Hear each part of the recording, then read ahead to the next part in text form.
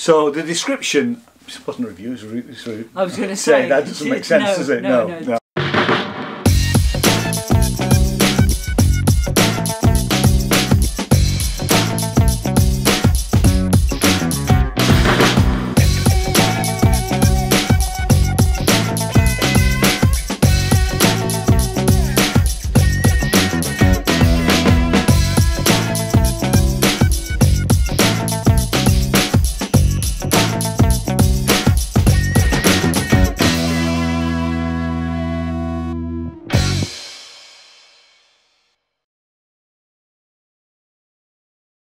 Hello and welcome to my channel. My name is Ian J Cole and Hi, this is I'm Jane.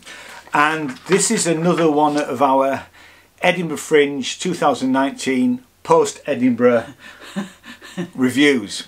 Now the reason we're doing this is because the show that we've just been to see this evening first appeared at Edinburgh Fringe Festival 2018 and was there again this year but we clearly missed it. And this show is in loyal company. So I'm just going to read the description from the Edinburgh Fringe website. And it said, uh, after a total sellout Edinburgh Fringe run in 2018, uh, In Loyal Company returns to the venue twice the size as in 2019. This incredible true story of missing World War II soldier Arthur Robinson, written and performed by his great nephew David William Bryan, uh, is a tour de force, war epic not to be missed and then we've got a whole load of four and five star reviews. Um, what did you think, Jen? Oh, fantastic. Um, yeah, I mean, tour de force is, is a description that you would use.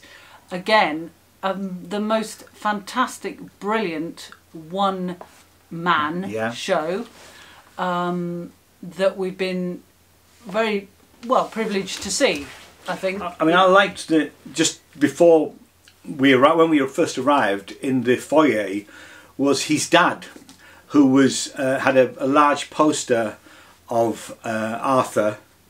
Uh, no, not a poster, a photograph. It was a big framed photograph, uh, and his. I mean, his dad was amazing, really, because he was Yeah. clearly um, there supporting his son, and his dad lives in Hull. And he was saying that when when David's up here, he stays with them, and his dad just drives him around from show to show. Um, uh, so, so that was quite a nice little bit just before we went into it, really.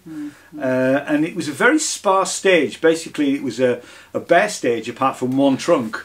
Actually, what's interesting, I know I'm sort of getting slightly ahead of us, Mhm. but they have just produced this um, book of the play.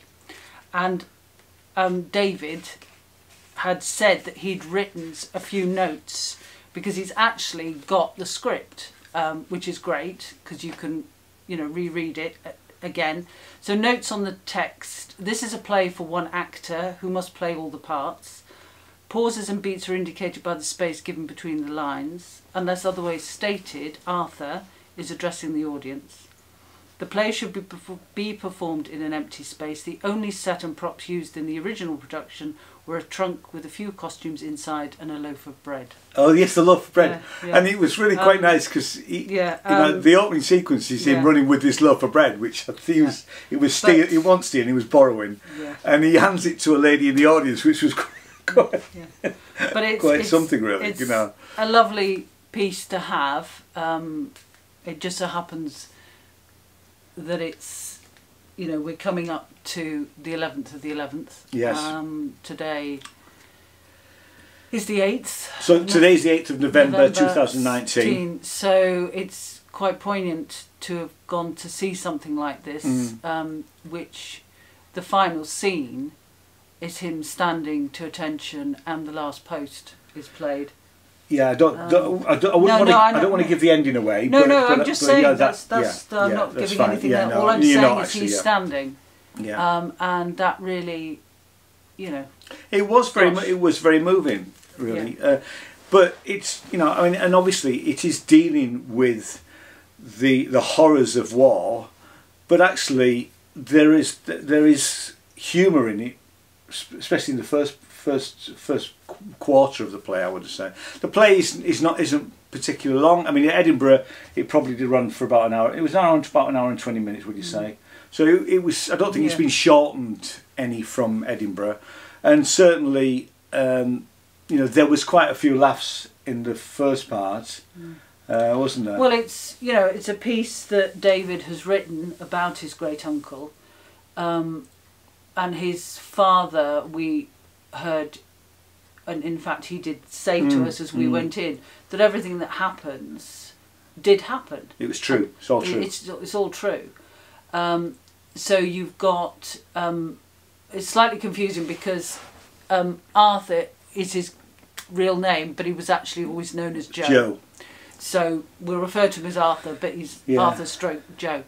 Um, so you've got before he signed up, um, detail of, of what happened after he signed up. Then obviously, um, the the horror of war, what what he ends up doing, um, and then afterwards, and he he doesn't he doesn't shy No, away doesn't.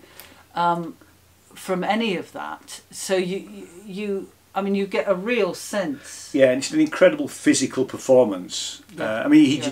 he at first he's got. Uh, you don't realise it, but he's got like three layers of clothing on. So he and he just he, he's sweating and it's he, he's getting hotter and hotter as he as it goes on. But it's just incredibly physical. Um, I mean, the, the, the there is the the moment where you know we know that he's missing because it tells us in the description that he's missing, and Arthur's mum is writing to everybody from Churchill to the King to try and find out where Arthur is. But obviously she's writing as looking for Joe, which is a, not not his his given name. Everybody else everybody else in the world knows him as Arthur, but she's writing to to Winston Churchill trying to find Joe, which was it was a quite a funny little moment, really. You know. And also, um, I think I mentioned should go, as in fact David himself Yeah, did he at the yeah, end of the yeah. performance, to, um, oh, I think it was John. John. John was the Yes, lighting yeah, and sound John. guy. Um, so he was doing the incredibly effective lighting spots and music Mm. and cues which added to the performance. Um, there's one superb moment where he's um, underwater, and I can't tell you Mm.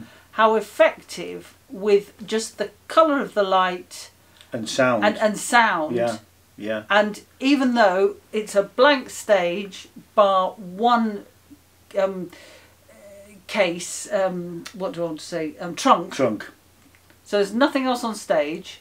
It's just black, and for that moment, you think he is underwater. Yeah, you do. It's yeah. incredibly Yeah. effective, and yeah, excellent. Um, really, really adds to the performance. There is a little 45 uh, second promo that David had done for the Edinburgh show, and we'll put that in right now.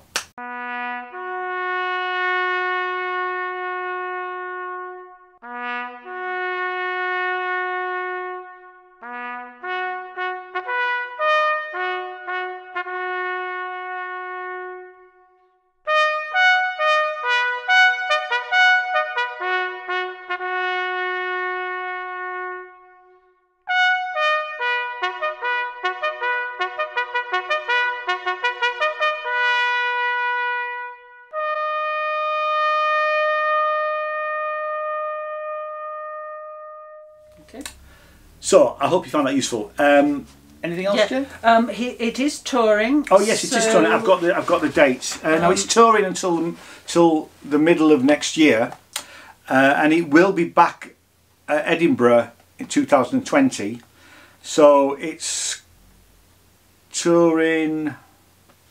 Um, I mean, its Well- next performance is the 9th of November in Sheffield. Then it moves on to Taymouth, um, Bordon. Where's Bordon? Phoenix Theatre Arts, Bordon. Don't know where that is. Don't know. Uh, then in January, it's Chipping Norton, uh, Worthing, Bury St Edmunds. Uh, there may be other performances in. I'll put them all in the links down Yeah. below. Um, yes, because actually in here, so it's in Loyal Company uh, for upcoming tour dates, it's um, visit davidwilliambryan.com. com. So and again, I'll put that in put the that in. in the Yep. notes down below. Um, and definitely an actor to watch. Yes, I mean he he, he, normally performs with another play. What was the other play called? Because I've forgotten. You've forgotten. Anyway, he normally performs these two back to back, and he did in Edinburgh apparently, where I mean we've just said this is an incredible physical performance, and then he'd have a, a I think he said a twenty minute break, and then he'd do the next play. Um, so we, we want to see his other play, uh, and I'm certainly will we'll look we're going to look out for him uh, at Edinburgh 2020, and we'll definitely go and see him there. Um, Yeah. so he's definitely an actor to, to look out for. His dad was saying he may be writing something else for Edinburgh next year, which would be quite interesting. But certainly, in loyal company will be there, and in traditional uh, Edinburgh style, we should give it some stars. How many I've stars, forgotten Jen? about the stars. Yeah, Five. I think I'd give it five as well. So that's five stars. Anything else? Nope. Thanks so much for watching. Uh, we'll see you in another video. It might not be till Edinburgh next year. Um, there'll be other videos on the channel. Uh, please watch them if you wish. Uh, and subscribe and all that usual sort of stuff. Thanks very much. See you again. Bye bye. Bye.